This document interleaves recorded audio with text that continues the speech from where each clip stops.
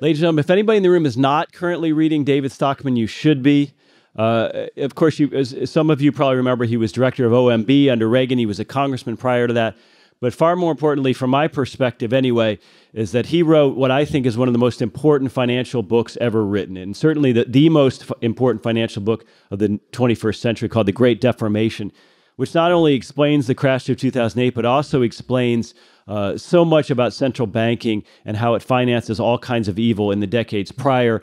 Uh, he has a new book out called Trumped, which somebody needs to get to Trump uh, and have him read it ASAP, because I'm afraid without that, um, we are going to be lost in some kind of a cataclysm of, uh, of spending. But uh, David Stockman uh, runs a website called Contra Corner. He is an absolute tireless uh, writer. Uh, against crony capitalism, and I think he's one of the leading lights in our movement today. Thanks so much, David Stockman.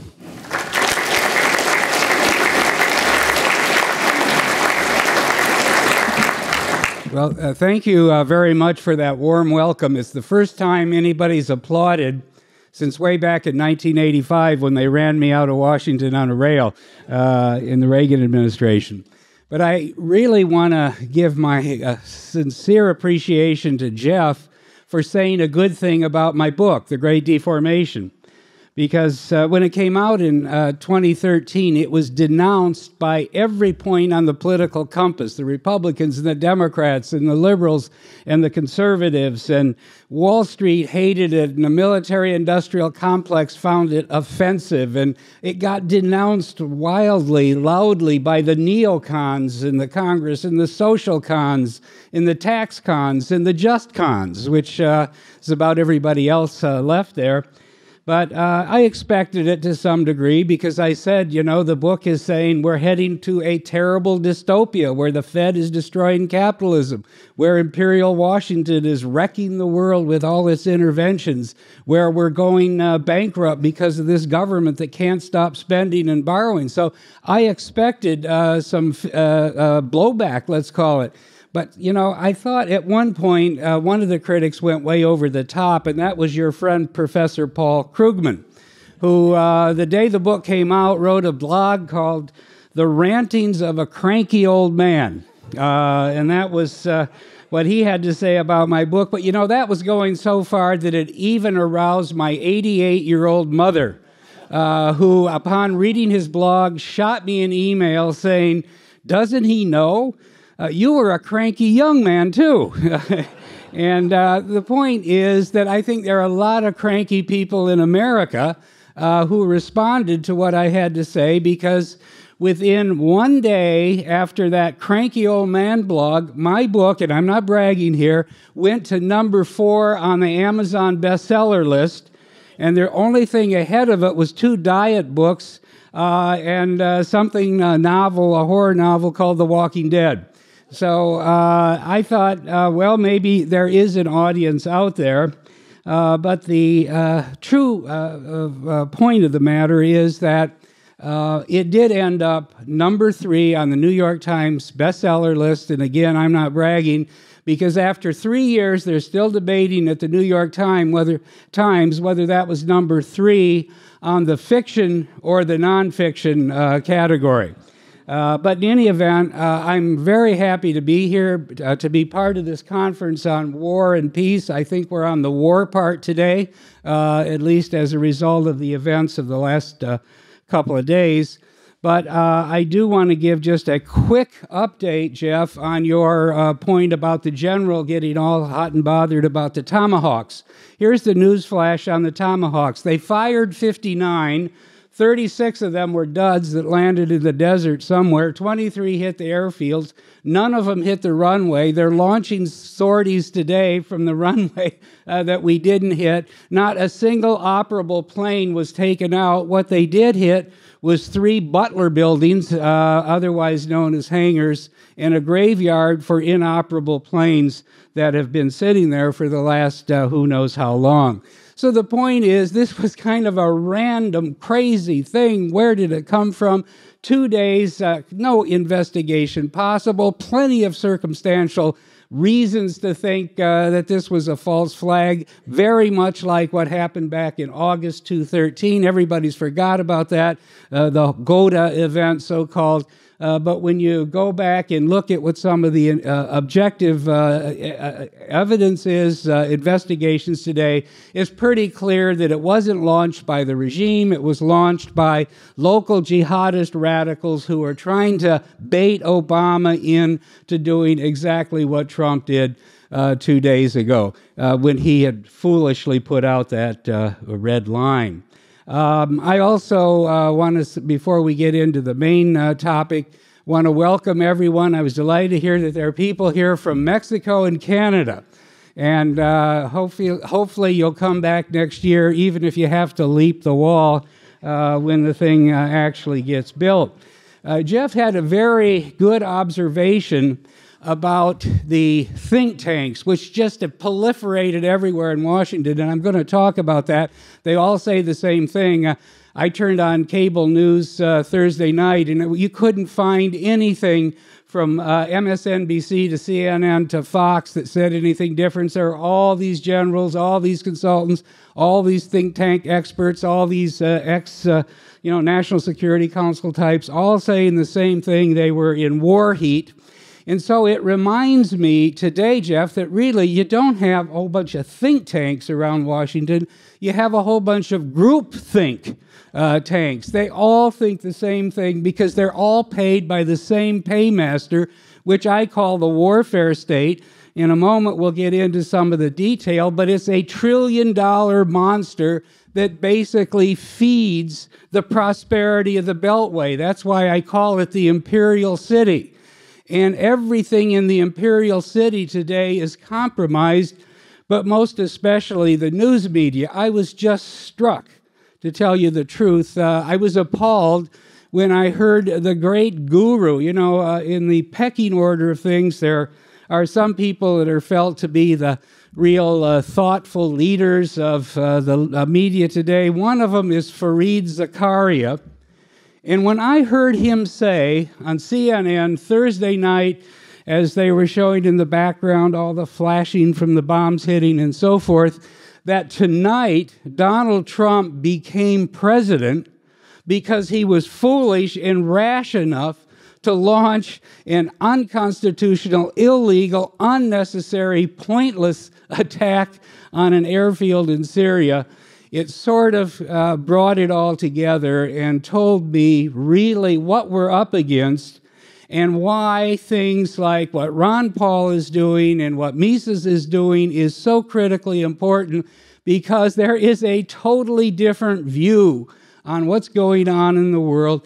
If you get your lens right and if you're not part of this overwhelming group think consensus that is literally suffocating the machinery of government, the machinery of the mainstream media uh, in uh, Washington today. And that's why we're at this uh, point, uh, I think, that we're at.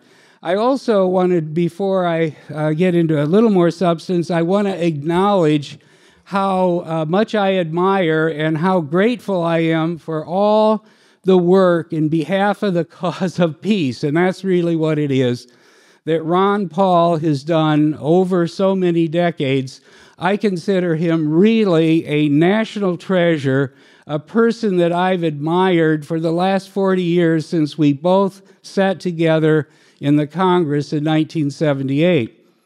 And the interesting thing about that is that we were both kind of free market, rabid free market types. And uh, we sat way in the back benches and we were being totally ignored by everyone because they thought that uh, what we were, uh, uh, you know, focused on entirely uh, was the free market. But actually, uh, we were working on an issue that is the issue of the day. Ron was really, a, at that point, a closet peacenik. And little did they understand that I was a 30 year old congressman at the time, and 10 years earlier, I'd been out on the barricades as a member of SDS protesting the war in Vietnam and really trying to disrupt uh, the machine. And we've been going in the wrong direction ever since. And here we are today. And uh, I'm, uh, you know, more convinced than ever that what we were saying uh, about the aggressive, uh, expansionist, interventionist foreign policy then in 1968 that led to the folly of Vietnam uh, is even more true today. And that's why history, I think, is so important perspective. A lot of you probably travel. If you've ever been to Vietnam, you have to go to Hanoi uh, if you're traveling to Southeast Asia, or go to Sa- uh, Saigon and ask yourself, what in the hell were we doing putting 500,000 young Americans, billions of dollars, dropping on the country from one end to the other, napalm and every other kind of horrible thing out of the sky.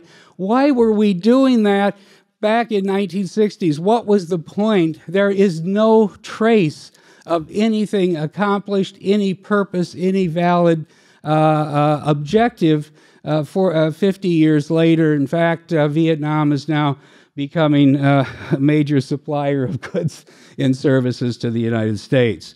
So um, uh, I just uh, think that maybe we need to have a little perspective, historical perspective. And I have to say that in light of the event two days ago, I had to change uh, the title of my speech. It ri- originally was The Deep State and the Donald. And my, the whole idea was that in, in, some ways he was a victim already of the deep state. They were trying to relitigate the election. Uh, that's what all of this uh, Russiagate uh, hysteria is about. And I thought they're not going to win, even if they wound and undermine him badly and even destroy his presidency, because at least he's an impetuous bomb thrower that would uh, help to begin to uh, let's what the word I used was discredit and unmask this huge uh, surveillance state uh, that uh, has uh, grown up in the hysteria after 9 11. Well, little did I know that suddenly Donald Trump has been taken hostage by the deep state.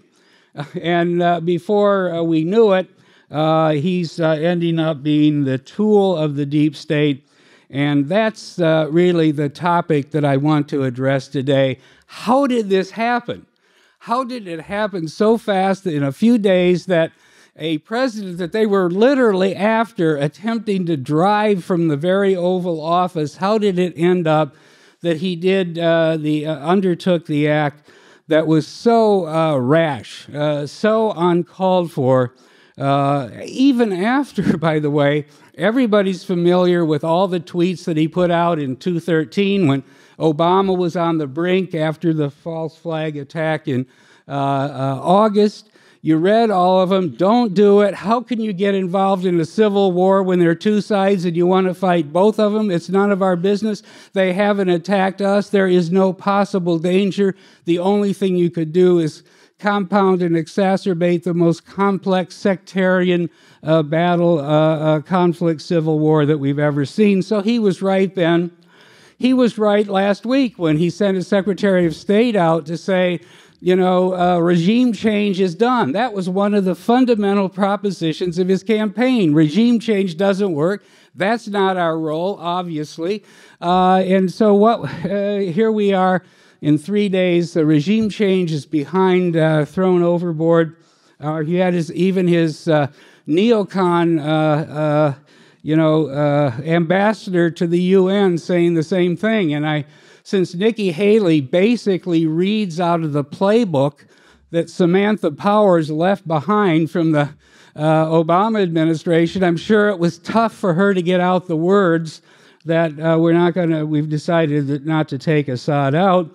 But now here we are, and everything has changed, and he's back in the groove. So the question that I asked to myself was well, what is the purpose of this attack after two days, no investigation of what really happened in Idlib province in that little uh, uh, town uh, where obviously it looks like they hit a ammo dump and there could have well been, and there's plenty of uh, suggestions that there were both regular ammunition and chemical weapons being stored there.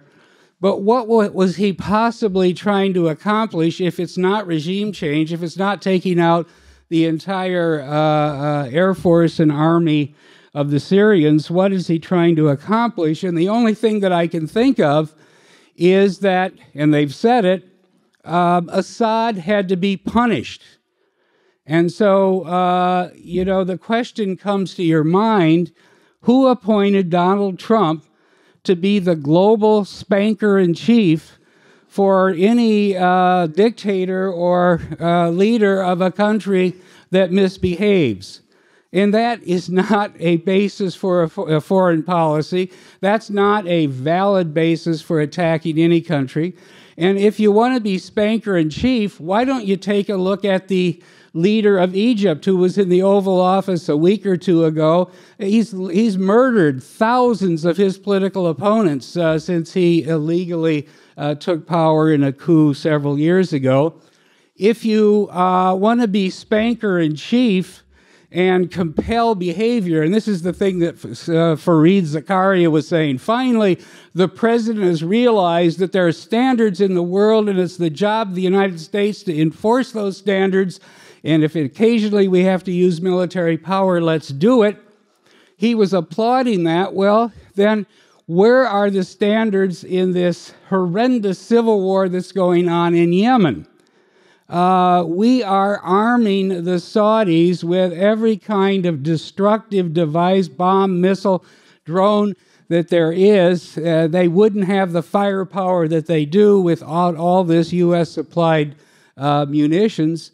So far, 10,000 civilians have been casualties, 4,000 killed, men, women, and children, weddings, and all the rest of it, 6,000 injured, many of them from cluster bombs, which are supplied by Textron to the Saudi government that is using it on the civilian population of Yemen. So if you want to be the spanker in chief, bring in the king of Saudi Arabia and, uh, you know, uh, give him a, a whack or two.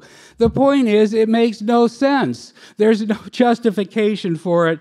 And yet, that's about the only thing that I can think of uh, that uh, Donald Trump may be up to. So, uh, the question that I want to uh, kind of try to answer a little bit is how, in 77 days, did this outlaw, renegade, uh, guy who said a few things in the campaign that made sense, like let's make a deal with Putin. We don't have to have a, a war with Putin. Let's get out of the Middle East. Regime change has been a disaster. We've got rubble and destroyed states and uh, millions of refugees and blowback of every time everywhere. He said all this. How in 77 days is he doing something as stupid, as immoral, as short sighted, as impulsive as uh, starting uh, a major conflict uh, uh, with the Assad government and getting exactly into harm's way with Russia and all of its allies that are on the ground there the Iranians, uh, Hezbollah, and all the rest of them. How did this happen in 77 days? And I think what I would like to do is suggest that the deep state or the warfare state or whatever you want to call it has gotten so massive, the indu- military industrial congressional surveillance complex and so forth, that it envelops everything that enters the imperial city, that enters the White House, the Oval Office, and therefore the kind of challenge and problem and threat really that we face from this thing uh, is far greater than almost anybody could imagine if they could even take down uh, Donald Trump uh, within such a short period of time. Now, let's just say how big it is. I call it the trillion dollar monster. And that's because if you take the 600 billion that's uh, uh, admitted to in the defense budget, you add about 50 billion for security assistance and foreign aid and all the rest of it. You add another 70 billion that goes into uh, homeland security and an extension of uh, the uh, warfare state uh, at home. 180 billion for um, uh, veterans. And after all, we are, we're spending $180 billion on veterans because we've had all these wars since Vietnam, since uh, the last 50 years, that have been pointless, and we've ended up with all of these young uh, men and women who uh, need uh, uh medical care or compensation or pensions and so forth. None of that ever should have happened. So charge it to the warfare state uh, add a little bit of carry cost for the debt, which is now 20 billion, and you got a trillion dollar monster with funds flowing in every direction. And especially in the imperial city, you have a 75 billion complex of, for the 17 agencies of the intelligence community. Now, the difference between what I call the intelligence complex and the old uh, fashioned notion of the military industrial is that at least the military industrial complex was spread all over the world and spread all over the country. We had bases all over the country, defense contractors all over, uh, 200,000 forces abroad that shouldn't be there, and so forth. But when you get to the intelligence community, it is concentrated, massed in the greater metropolitan area of DC. I think there's two or three or 400,000 contractors or direct employees. If you take the 75 billion budget of, of the CIA and NSA and all the rest of them, uh, 50 billion of it goes to contracts. And so you have all these huge contracting companies that are paying people big, big salaries, not GS 16 or 18 salaries, but huge salaries. You create that entire uh, mass uh, concentration of people, all needing a justification for a continuation of the flow of all this money. That's why when you go into Washington, I don't go to Washington that much uh, anymore, Congressman, but when I do, compared to where, what I saw when I started there in 1970 or even when I left in 1985, the prosperity is amazing. And you say to yourself, where is all this prosperity, this glass and steel, and all these new hotels and restaurants and all of this? Uh, you know, uh, uh, fancy stuff coming from in a city that has no manufacturing, has no industry. Where does it come from? It's coming from the $75 billion intelligence complex that's sprawled all over the entire metro area. So, uh, part of that obviously is the group think tanks. Part of that is the media that's housed there. I mean, Wolf Blitzer, can you stand to listen to another night of Wolf Blitzer drooling over, uh, you know, the next uh, uh, uh occupation or intervention or stage of the war? They're all down there embedded in that uh, horrible environment that's been created. Now, my point is that if there were some kind of existential threat to the very future of our society, of our democracy, of our system, some horrible, immense, powerful, uh, terminal threat uh, to our existence, uh, maybe that would be a justification for what we have. But I want to spend a couple minutes telling you that the real secret, and we need to get it out and sort of preach the gospel, is we have no serious industrial, technological, military threat anywhere on the planet. Instead of an existential threat, we have less of a threat than we've had since 1917 when Wilson foolishly put us into the First World War. Uh, and let's just uh, tick off what is out there. Uh, the first one, obviously, is Russia. And you know, that's a joke. If they're going to land on the shores of New Jersey, they would need vast power project- projection capability. Uh, aircraft carriers and suites of uh, capacity uh, to land. I, I know I'm being facetious, but the point is none of that is remotely possible because they've got one 50 year old aging, smoke belching aircraft carrier that's on duty in the eastern Mediterranean and probably couldn't get out of the Straits of Gibraltar if it had to. That's it. So, how do they threaten the security or the safety of anybody in America unless you think Putin, who is the ultimate chess player, the cool hand Luke of the global, uh, you know, scene today, is foolish enough to risk uh, nuclear retaliation by uh, attacking us first uh, and have all of Russia turned into a parking lot. It, the point is, we have had the nuclear deterrent on our uh, submarine, uh, Trident submarines, more than enough ever since I was there fighting the defense buildup in 1980. We don't need any more money. There's nothing that the Russians are going to do that remotely threatens us. And as a matter of fact, just to give you some feel for how silly this whole damn thing is, I actually. Uh, am fortunate enough to live in New York City and uh, on the 19th floor of a very nice apartment building on the East River. And when I look out from my balcony, I can see the Queens on the other side, and I look south and I can see Brooklyn. I look north on one side, there's Harlem, and on another side, uh, there's the Bronx. And also, I can see the entirety of Russia from the balcony of my apartment in New York City. Now, I'm not doing a Sarah Palin on you, okay? I'm not talking about the Siberian landmass. I'm talking about the fact that the GDP that I can see from my balcony of New York metro area is 1.6 trillion and the GDP of Russia is 1.3 trillion.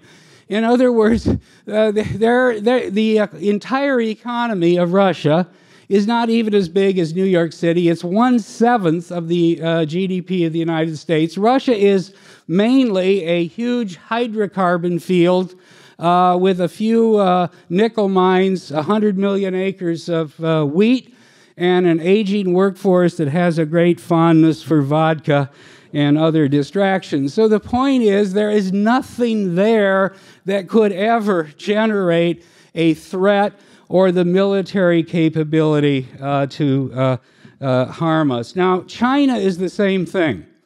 Uh, you know, if you think about it, do you really worry at night that China is going to send uh, some missiles or a fleet of aircraft to over, uh, to, over the Pacific in order to bomb 4,000 Walmarts in America? I mean, the point is their economy would collapse within six months if they didn't have this global, bloated global system of exports and trade. That's what the whole red Ponzi is predicated upon. And uh, if they want to build sandcastles in the South China Sea, more power to them uh, but they aren't a threat to us. And frankly, they're not a threat to any of their neighbors either because they depend on a huge supply of raw materials coming up uh, through the South China Sea into their ports and uh, all the intermediate products that come. Uh, yeah, you know, from all the nearby countries like South Korea, Taiwan, Malaysia, and so forth. Now, my point today is can't we learn a lesson from the demise of the, uh, of the Soviet Union in the 80s? You know, one of the things I had to do over and over when I was in the budget office was fight this massive buildup of defense uh, spending that uh, Reagan got convinced to do when the Soviet Union was dying on its own accord because it was predicated on a centralized socialist controlled uh, economy that was falling apart. And the only thing we really needed to do was just wait it out.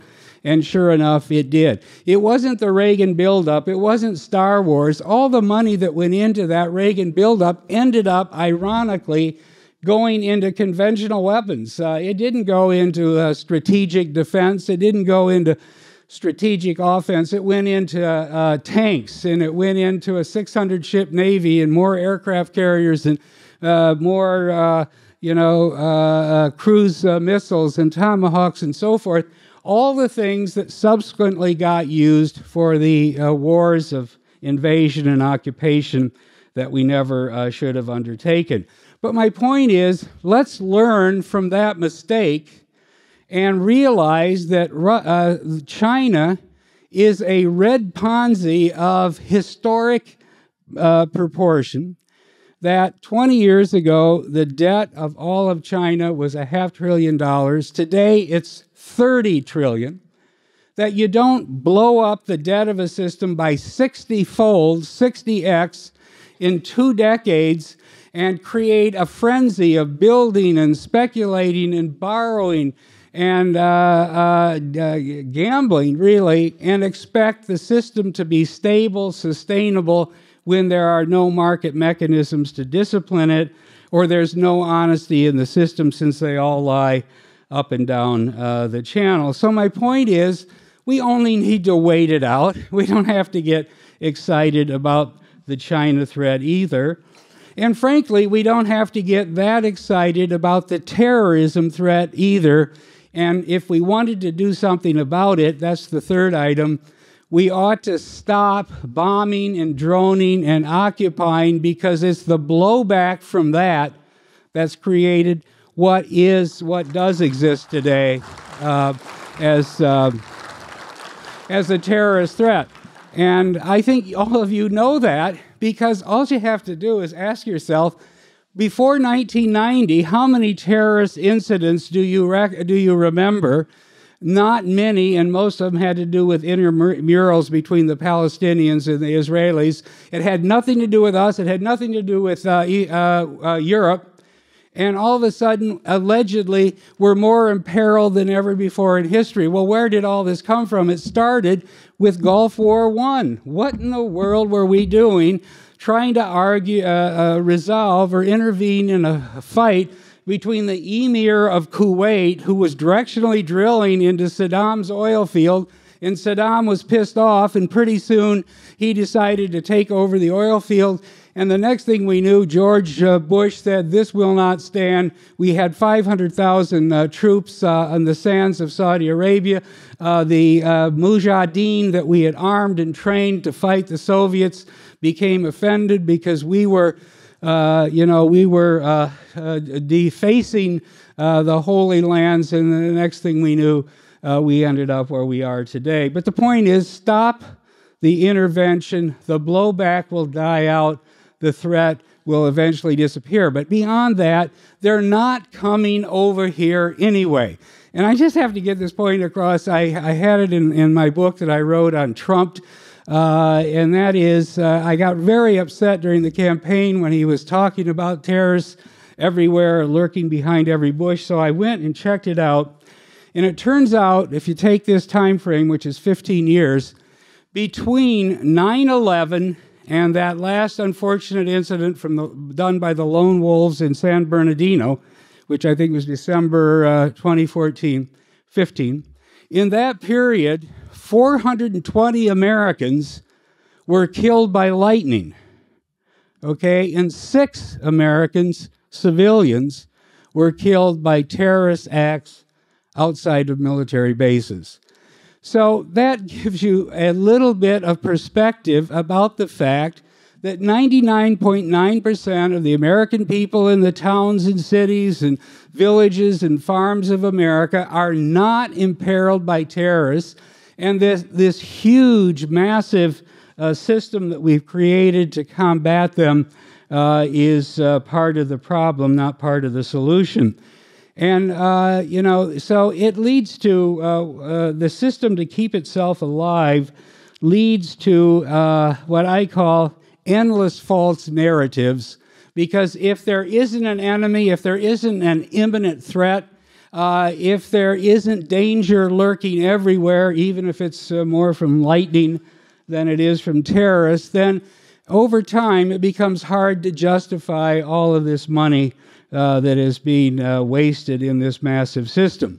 Uh, you know, I want to mention one or two because this is one of the things I do in my blog, and I think it's important that we educate people about what is taken for granted as truths uh, in the day to day mainstream media, it, uh, which is totally distorting of the facts and is creating a false case for this massive system that led Donald Trump uh, to try to bomb an airfield, uh, which even that didn't happen. You know, one of them is Russia is an expansionist power, and if they can't get to the New Jersey shores, they're going to take over all of Europe. Uh, and how do we know that? Well, because allegedly they occupied Crimea. All right, now here are the facts on Crimea. Catherine the Great bought Crimea for hard gold money in 1783 from the Turks, uh, who were desperate for cash. It was a stalwart part of Russia for 200 years. Uh, Sevastopol, the main port, became the home port for the Black Sea Fleet, the heart of the Russian Navy under czars and commissars alike. And it was not until 1956, after being in the heart of the Russian Empire. In fact, uh, you know, the charge of the Light Brigade occurred in uh, Crimea, and it was the occupying invaders who were charging the English, and it was the Russian patriots who were defending uh, the homeland. Uh, that's uh, the, the, the point. But it wasn't until 1956 after the succession of Stalin was resolved and Khrushchev had killed off his two uh, rivals. And Khrushchev, as you remember, was a Ukrainian. So, in a night of drunken celebration with his comrades from Kiev and the Ukraine, they decided they would transfer in the Soviet Empire Crimea from Russia to the Ukraine. That's how it happens. So, we're supposed to start a war today in order to compel Russia to return Crimea because uh, of, uh, uh, you know, uh, a uh, invasion that we helped, or a coup that we helped start in 2014. my point is, Crimea has been part of Russia and provided them with a warm water port for 173 years which is longer than California has been part of the United States when we got our warm water port, uh, you know, in, uh, uh, in California. Uh, the point is, there are a lot of these uh, that we could talk about. Uh, one other that I just want to mention, and then I'll take some questions, is um, you know, we're constantly being told that they need these billions of dollars to do the policing on the homeland, all this homeland security stuff, because there are terrorist cells everywhere. But I think, uh, Congressman, you've probably looked at this, but the fact is that about 90% of these so called busts of terrorist cells are FBI stings. And want to migrate, uh, anyone who wants to get educated on the terrorist threat needs to only go back and watch Paul Newman and Robert Redford's movie of 40 years ago called The Sting, and you will see exactly what's going on today. But most of them are sting operations, and the latest one was, uh, and I just mentioned this in closing, the latest one was in Kansas City, where the FBI agents cultivated for several weeks a young man who uh, was so destitute, so out of it, such a loser, uh, who uh, his wife had left him and had a young son, that the FBI gave, had to give him $30 and babysit his son while he went to Walmart to buy a list of stuff that they had given him, like copper wires and battery and batteries and fertilizer and a few other incriminating things. Now, this may be an extreme case, but the point is, this is part of what I call uh, this false narrative that's constantly going on. So, um, the uh, bottom line, I guess, of my point today is that maybe there's a silver lining in this latest uh, uh, capture of Trump uh, by the deep state, this utterly stupid uh, attack on Syria. And that is maybe it will help revive a coalition, an anti war coalition in the Congress like the one that I started with way back in 1968 when uh, both non interventionists like Senator Aiken from Vermont and uh, uh, real uh, uh, doves from the Democrat uh, side came together and basically put Johnson out of business, stopped the war, and ended the madness. Maybe now the, the liberals and the so called progressives will come back to life. I mean, they've been essentially uh, sidelined during the whole Obama era because anything he did they had to justify.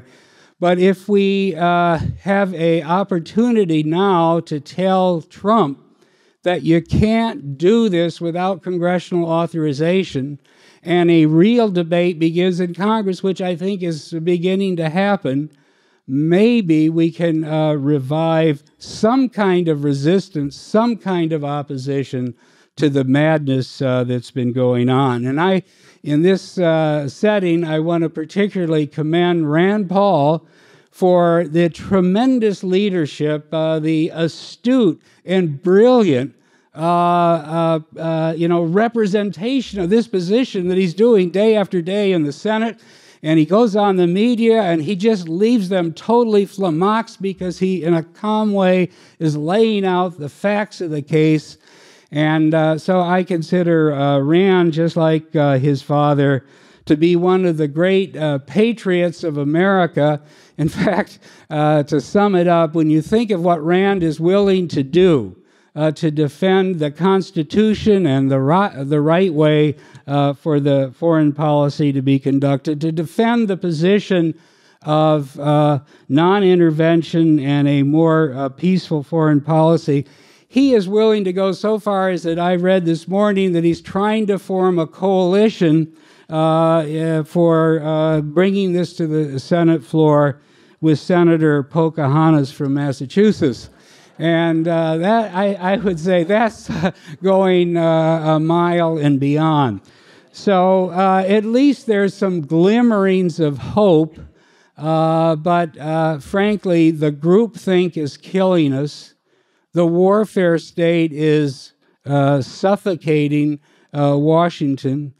the war machine is bankrupting and draining the fiscal and economic resources of America, and the hour is getting late. So uh, maybe there's a chance to turn it around, and maybe uh, inadvertently Donald Trump gave us that opportunity two days ago. Thank you very much.